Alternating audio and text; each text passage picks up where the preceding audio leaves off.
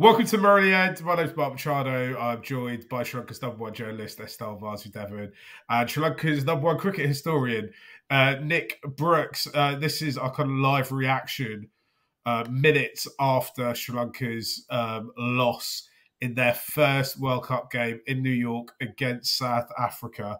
Um, I'll be honest, my head is thumping, my ears are blocked as hell. And on top of all that, that Sri Lanka performance has not made me feel good about it. I was pretty optimistic coming into the tournament, but boy, Nick, what we blame it on? Is it the pitch? Is it uh, Wanindu's captaincy, or was South Africa's seamers just too good for us in the day?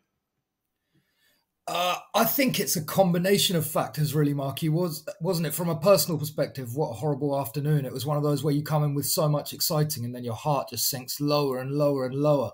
But I do think there's got to be uh, some serious questioning of the decision making from start to finish. I don't know really how you turn up at a pitch you've never played on that looks like that, that's been brought in, and think, yeah, this is a bat first wicket, and then it looked to me just like kind of panic set in during the early stages of the Sri Lankan innings. I think from the first three overs when they hadn't scored many runs, and then Baartman comes on and Nissanka's like, I'm going to hit his first ball for six regardless.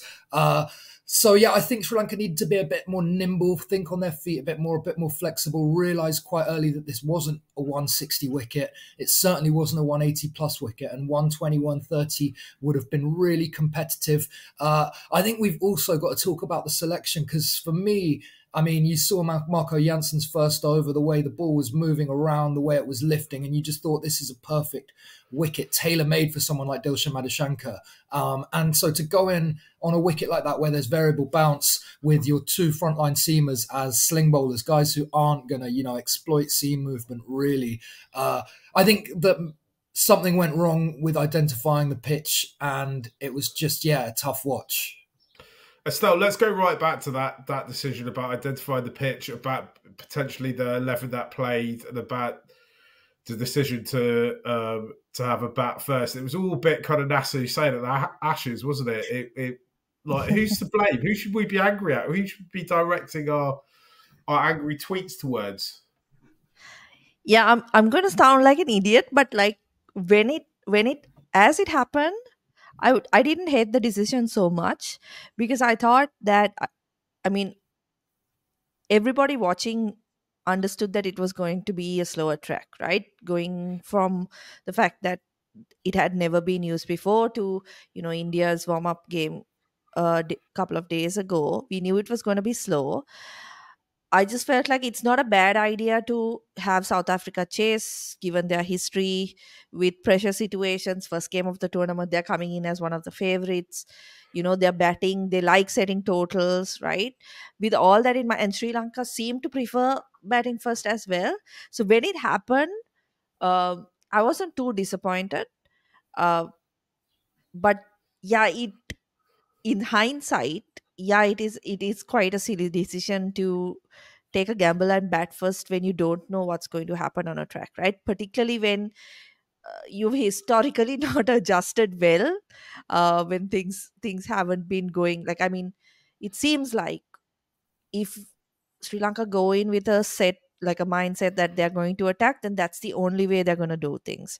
It doesn't seem like they're able to adjust. So in in a in a situation like that i feel like um i think even batting first like nick mentioned right a total of 120 would have been i think would have been enough given the way the sri lankans bowled particularly the fact that you know you've got four guys who can really get you wickets right?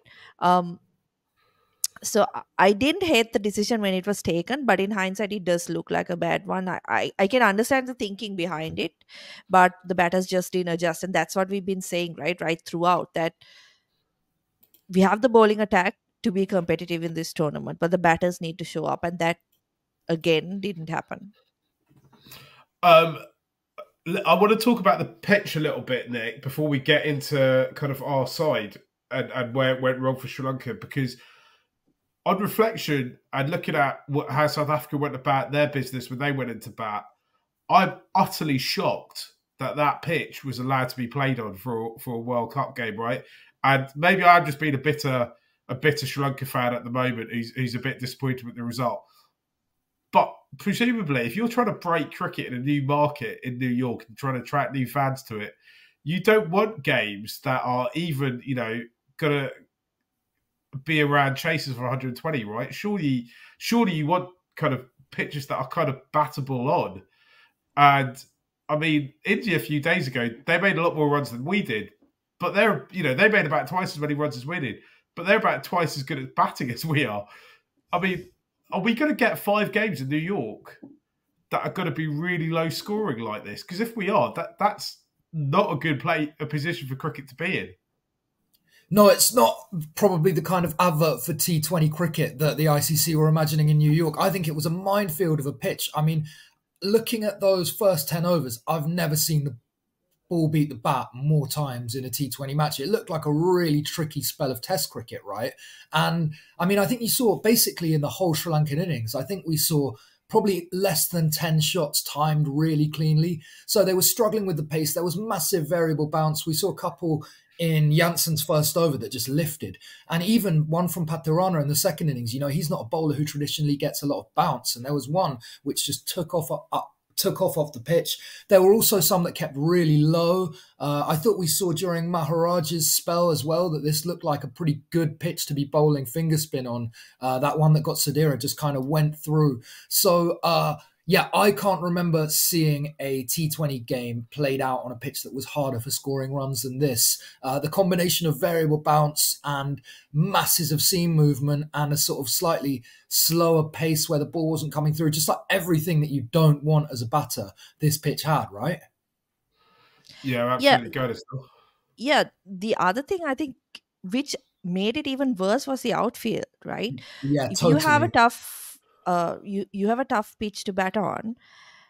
Your shots good shots should have value and that didn't happen right? You had a lot of shots that uh, batters were able to find the gaps but the ball is just stuck in the ground right? It's not traveling. And i think that made actually the experience experience much worse because if you if you say okay personally i'm i'm a fan of wickets being varied where you have like you have your 200 plus wickets and you also have these you know 120 130 whatever those type of wickets as well right?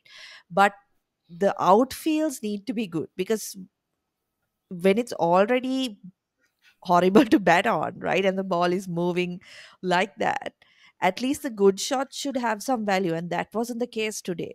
And that that i feel is a bad viewing experience for for fans because i mean you could have lots of fans who enjoy you know this tough battle between batting and bowling um, and not not the 200 plus complete bashings right but when the ball isn't traveling along the ground on the outfield that's a big problem i feel I, I also felt I don't know if you guys noticed this. I thought that outfield looked like prime for uh, fielders to get injured on as well. There's a couple of times mm. I saw players on both sides look like they're going to they were really jarring into it, which is another reason I thought this is you know these are meant to be the best players in the world, right? Why are you gonna why are you let them field to this?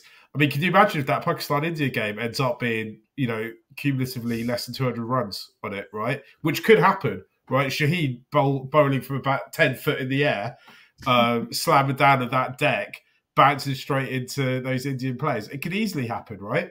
Um, it'd be it'd be such disappointment. Anyway, that aside, the thing we the other kind of place we should focus our frustrations on should be why did we lose so many wickets in in clumps like the way we did? Why did our middle order just absolutely collapse today? And why weren't any of them? I, I think really apart from Angelo, and I kind of want to say Dasun Shanaka a little bit, but I, I suppose even at that point you could kind of blame them as well. They should have just stuck about. T- two of them should have just said, "Right, we're just we're not going to do anything fancy. We're just going to stick about till 18th, 19th, uh, you know, 17th or 18th over before they try anything fancy." What was going on? I mean, I can kind of, you know, the first three wickets you're like fine, but after that, guys, you, you you've seen how everyone else is getting out are you not watching what is going on when you when you're padding up? Are you not seeing what everyone else is seeing? Eh, like even me, who's barely been anywhere near a cricket pitch, can, can tell you this is not a place where you want to be trying to play your shots. You're just trying to survive. is my anger misplaced, here, Nick, or should am I right to be expecting more from our batters? No, I think that there was a serious lack of kind of nimble thinking. And I think a lot of it came down to the fact that they were 24 for one at the end of the power play. And then between that six and 10, at the end of 10 overs, they were 40 for five. And so, I mean, for me, it was that second half of the first 10 overs where they really lost the game. But I think the kind of thinking or the panic was that after that power play, they were behind the eight ball and they had to do whatever they could to kind of catch up. And for me, when Sadeera and Hasaranga got out of back to back balls, uh, was like when it really sort of turned. Uh, and yeah, I mean, you, I just saw Kusal Mendis miss time so many shots trying to clunk the ball as hard as he could into the leg side and it just going nowhere off the bat. And I think at some point there had to be that switch that said, let's just try and work ones and twos here, see what we can do and hang around till the ball gets a bit softer. Because I think we did see from the limited uh, view that we got of the second half of the innings that it did get slightly easier to bat as the ball got a little older. We saw Angelo time a couple of sixes. We saw Theekshana get one away. So, um, yeah, I think they could have taken it deeper, but losing wickets in bundles like they did in the first 10 overs, it was always going to be really hard. And uh, I think Hasaranga's wicket kind of rankles a bit, and also the two kind of mirror wickets from Kamindu and Charith, both kind of tapping it down deep backward squares' throats. Um, just, yeah, they don't look great in hindsight, do they? Estelle, there's this cricket company called Good Areas and they've done loads of mm-hmm. content recently about Sri Lanka and what their prospects are for the World Cup. And there's an Australian guy there called Jarrod, and a Sri Lankan girl in there called Estelle. And both of them claim that Sri Lanka's big problem is a lack of intent and not being able to kind of muscle the ball over the boundary. It's today the kind of chickens coming home to roost, that actually, so many there's so much commentary around the team saying they need to be intent monsters that actually today was the day they shouldn't have been intent monsters and they weren't able to, to, to rewind the clock.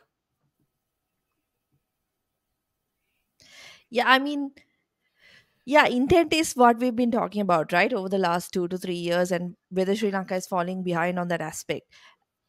But again, it's about adjusting to the situation, right? Like there's no reason, and I think we we spoke about this off air as well. There was no reason to believe that this pitch is going to be a good pitch or a belter of a pitch, right? From what we, I mean, this, this is the first international being played in that stadium.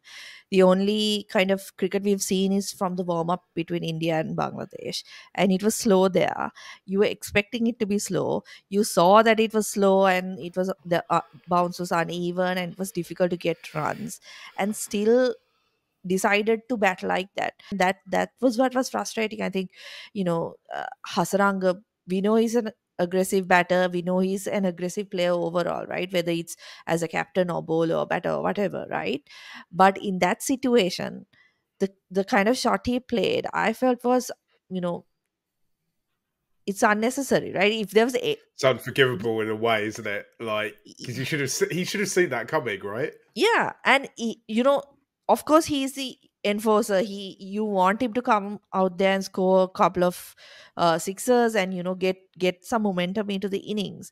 But it just from what you saw in the game it seemed like it was a silly thing to do as soon as you came out to bat right? And the other like big issue i have is why are you playing sadeera samarawickrama if Wanindu is going to be promoted above him in every game, right? Essentially, you're playing Sadeera Samarawickrama at number four because one, you can't bat him any lower than that. And two, because he's like the anchor stabilizer type of batter, right?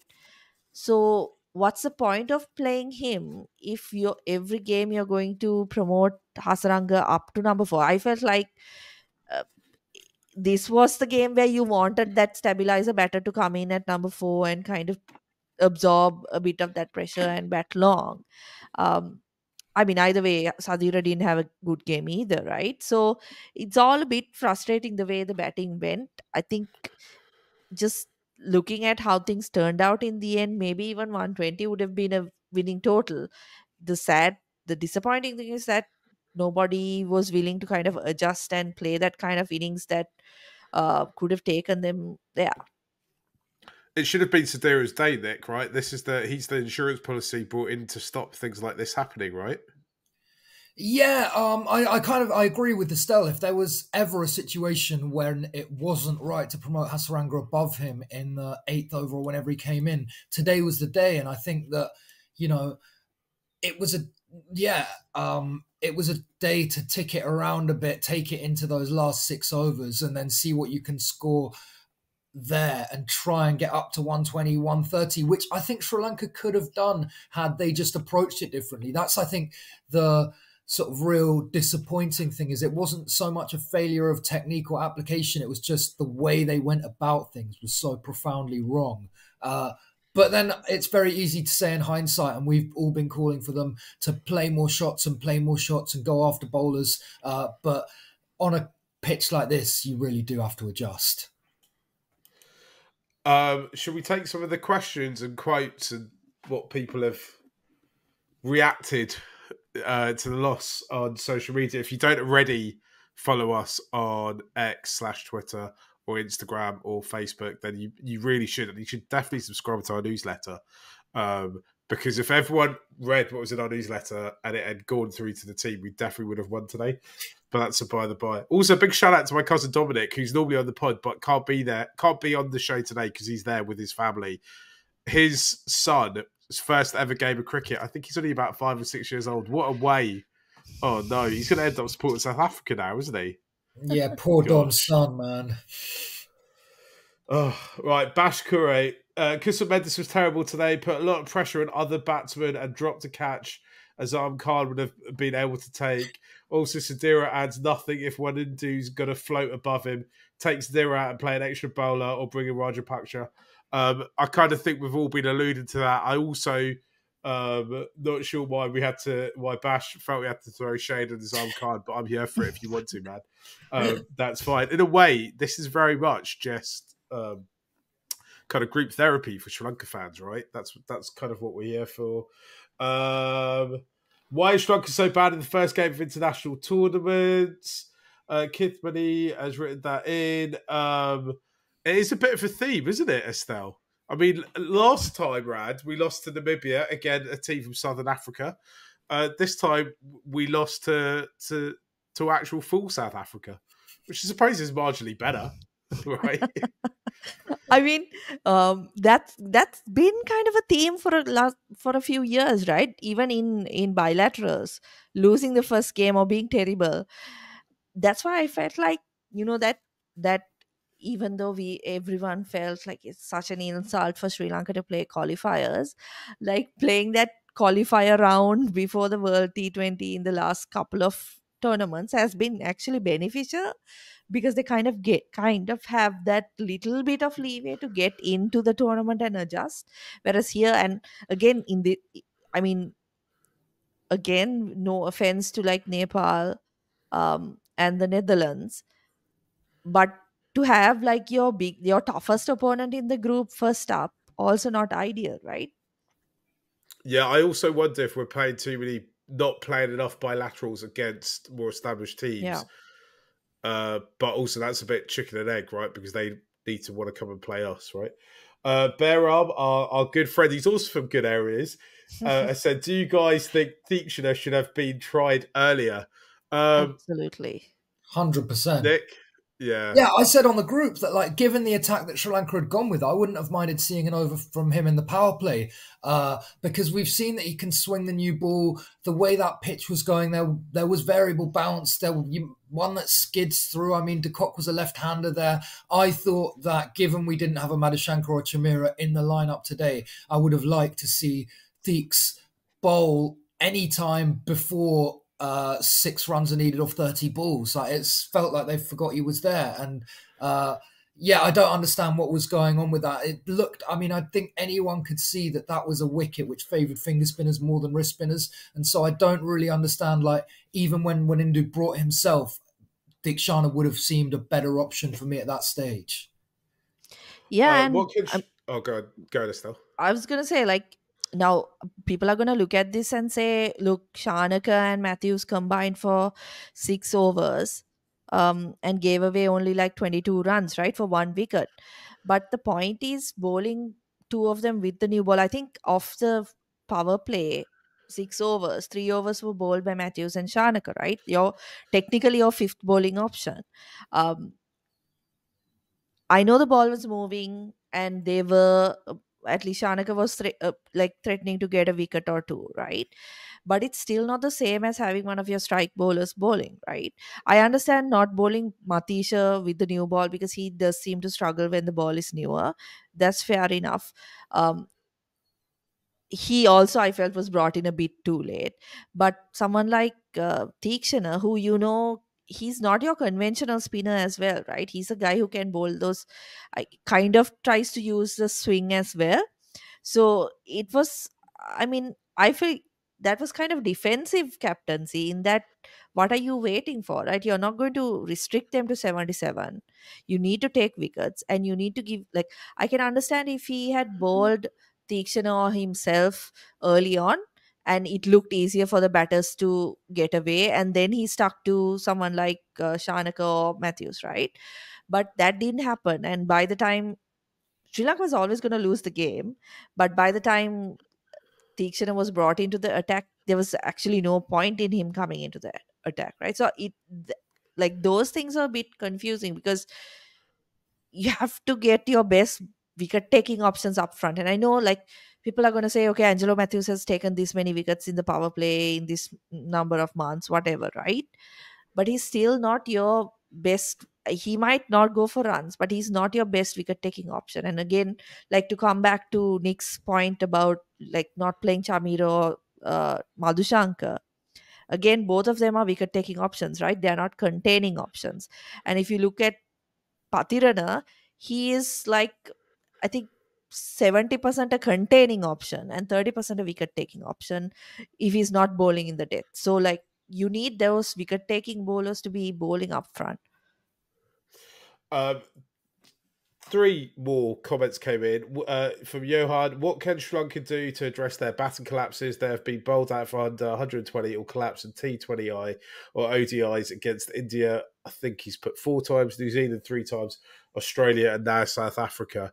I mean, that's the kind of like the million dollar question, right? I, th- I think though, actually, if you you know, I spent a lot of time with uh, Jarrod Kimber during the IPL, and Jarrod's kind of take on it, which I think kind of is is, is kind of a, a slight truism, which is that if you're going out to be intent monsters, and you know, we kind of talked about this earlier on, then you've kind of got to accept that occasionally this is going to happen. I do think, though, that said, for Sri Lanka, it's happening too frequently for it to be an occasional occurrence now, and that kind of when it's you know when it's happened against India recently, it happened twice in the last twelve months against India, right? A, it was a lot more dramatic, um, and B, you kind of you just need someone to drop the brake, and no one ever seems to realize that they need to drop the brake, and I don't understand it. Nick, can you can you help me understand it? Can you get into the psychology of the of, the team no, and tell me why no one's understood that they just need to stay there? I can't, but I think psychology is a good word because I think that rather than anything technical, it is like really that when Sri Lanka start to lose wickets, panic seems to set in, and then the confidence goes, and then the whole the wheels just fall off. Right? I think we saw it a bit during the 50 over World Cup, and I think we kind of saw it again today. That it's like, oh shit, what the hell is going on? We just all we can do is try and bang our way out of this, and yeah, I mean, we've said it time and again in the last half hour flexibility, kind of being able to read the situation, being a bit more nimble.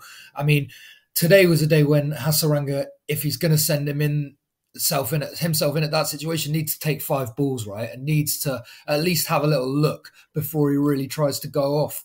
And it just didn't happen. And it yeah it seems that collapses happen too often with this side. And they need to bounce back hard against Bangladesh on Friday night on uh, what we at least expect to be a much better wicket than what they got served up today. Um the other question that's come in uh, was why didn't Chameera play? I mean, I think we've covered this a lot. Um, I will be honest, yeah, I thought playing two slingers is much more interesting and is more likely to get us 10 wickets than playing Chameera at this point. Um, for me, I'd have also picked uh, Shankar over Chameera as well, but um, just because I think he he asked more questions of the batters. Um, but I think the the whole like we in a way, this is the first time Sri Lanka's really had this issue in a long time where we've had this many world class like and they are world class bowlers to to go who should play, who should not play. Like and I think and we saw this today, and this is a comment about selection and it's a comment about whether or not we should have batted first and what happened at toss. It's a comment on the way we batted and played today. For me, Sri Lanka's about 85% loaded. It's like it's like it's got all the the right ingredients and it's got players in place. We just need to we've got the fire in the belly. We need to develop the ice in the head to make the right decisions in the right moments. And that involves team selection. Because I think maybe in hindsight today, team selection was slightly wrong. And you know, we talked about why didn't teach the bowl earlier, and like every moment, every decision they've made, you can kind of debate. The next question to you guys though is up next. It's our it's our old friends. Um, th- that's the best possible scenario after that kind of game, though, Estelle, isn't it? Because you want a fiery cad to get yourselves back into it, right, and to feel alive again, right? I mean, it, it depends, right? There is also a tendency to kind of look down on Bangladesh. So I hope they don't take it lightly and think like Bangladesh just lost to the USA. Um, what are they going to have to offer? Because in these kind of conditions, um, I'm sure, I mean, I hope the conditions will be better than what we saw today. But in these kind of conditions, Bangladesh can also be a dangerous side, right?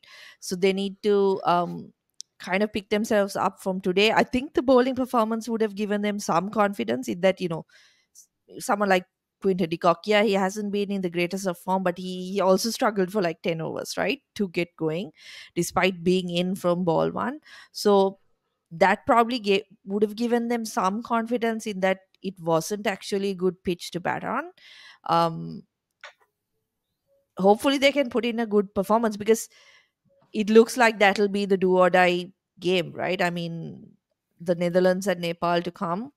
Uh, if they lose to Bangladesh, they're most probably coming back at the end of the group stage. Nick, if you were in the Lanka team hotel tonight, what are you saying to the boys to get them up for the for that game against them that should not be named?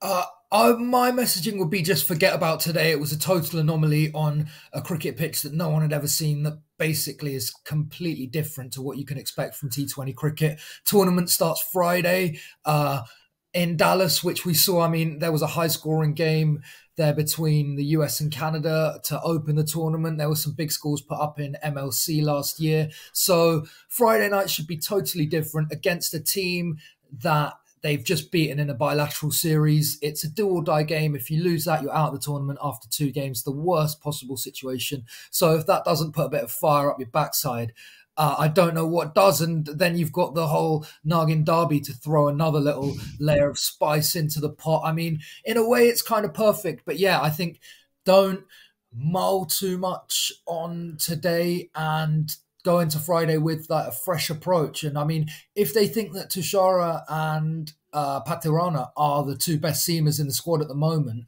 and the pitch is flat on Friday, then those are the guys who should play. I don't think it should be knee jerk reaction time, changing things for the sake of uh, we've had a shitter today. Guys, should we leave it there? We'll be back um, at some point the next few days once we've kind of put our thoughts together. We'll definitely be back to react to whatever happens in the Nagin. Um, we might even do a preview show for you. Who knows? Um, thank you for listening. If you haven't done so already, you got this far, you haven't subscribed, then what you doing? Hit the subscribe button. Uh, sign up for our newsletter. We've been the Murali End. Thanks a lot. Bye.